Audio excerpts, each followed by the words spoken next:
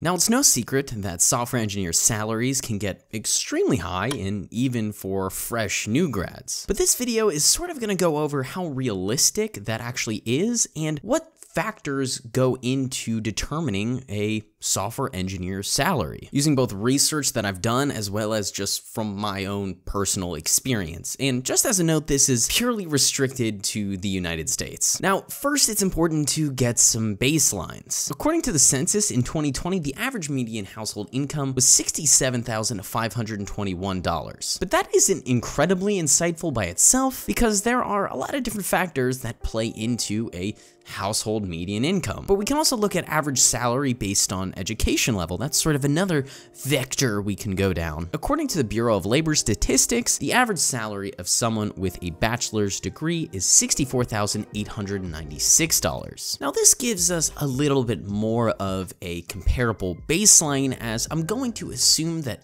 most software engineers have just a bachelor's degree because generally you don't really need to get a master's degree unless you're trying to pursue a very specific or niche area like machine learning or AI or uh, I don't know robotics or you know some other type of field. But we can even investigate this a little bit more. According to CNBC quoting a NACE study that in 2019 the average starting salary for a new grad pursuing a bachelor's degree was $53,889. And from the same study, those specifically studying computer science were projected to have an average starting salary of actually $72,173 for the class of 2021. So we can see that the average projected income of CS new grads was actually about 20 grand higher than just the average bachelor's degree. So that definitely supports the case of, you know, higher software engineer salaries. But now instead of restricting it to just new grads, the average software engineer salary in 2021 in the broad United States was $99,579. And that was according to Indeed. So in 2021, the average salary for the computer science students that are likely going to become software engineers was around 72,000 and the broader software engineer category, including, you know, all ranges of experiences and you know, locations and companies was about 100,000. Now we have a lot of data, but it is important to note that a lot of this data can sort of vary based on the source you look at, so you can find all of the resources I got this information from in the description below. Some of the years are also different, so the data might not be super comparable, but I still think it does a good job of showing how both new grad CS students and existing software engineers have pretty high salaries compared to just the average, at least in the United States. But what factors actually go into determining some of these software engineer salaries? One major factor is obviously just the cost of living in that area. A lot of FANG and Big N companies have, you know, their headquarters or big offices in really, really large metropolitan centers, and those metropolitan centers like New York City, Seattle, San Francisco,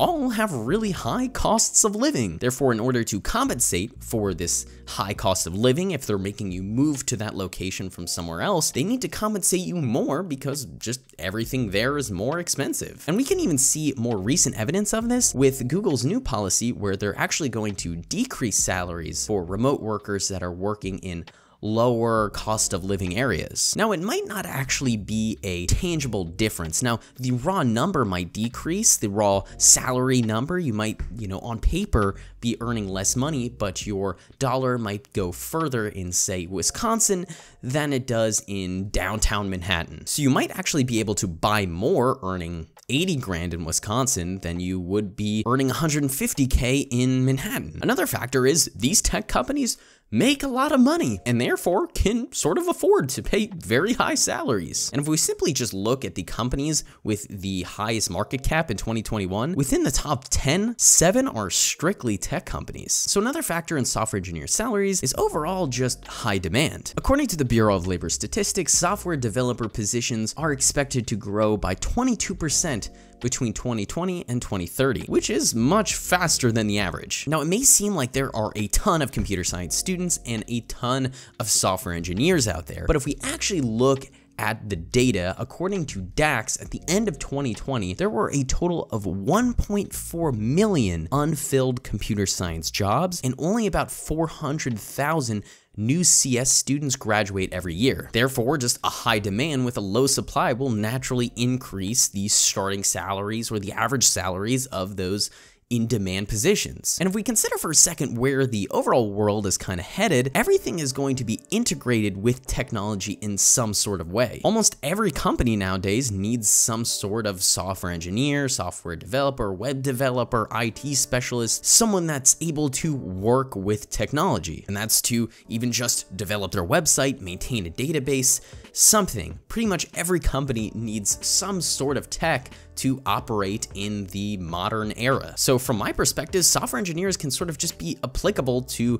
almost any industry. So overall, if we just look at the factors again, we see that high cost of living tech hubs, these massive tech companies that make tons of money, able to pay their employees really, really well compared to the average, a relatively low supply with high demand, and just overall broad applicability of software engineers are the reasons why I sort of think that software engineer salaries are just generally much more higher than the median or other comparable career paths at the same education level. Now, this video wasn't meant to sort of investigate whether these salaries were fair or you know, if they're underpaid or if they're overpaid. I'm just saying, here are the reasons why I think those software engineer salaries actually are high. So again, you can find all of the data that I used in the description below in case you want to dive a little bit deeper into it. I've made a couple videos previously about software engineer salaries or, you know, other computer science or tech career related salaries. So I can list some of those videos in the description below too if you want to check those out. I hope you all found the video useful. Comment down below about what you think are the reasons why software engineer salaries or computer science salaries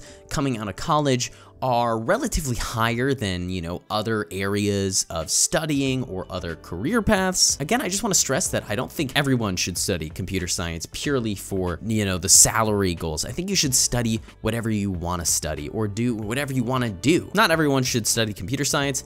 Not everyone should study one particular topic. Differing perspectives is always a good thing. I think. If you are looking for minimalist programmer clothes, check out some of the designs I've been designing over at nullref.co. My name is Michael Ouija Bob British accents at the end of every video. Check out one of my past videos of my past self would thank you dearly, and check out one of my future videos of my future self would also thank you dearly. That's all from me. We make tech, computer science, programmer, computer science, I already said that, type of videos on this channel. If any of that sounds interesting, consider subscribing. Like this video to help your boy out with the YouTube algorithm, and hopefully I see you in another one. Bye-bye.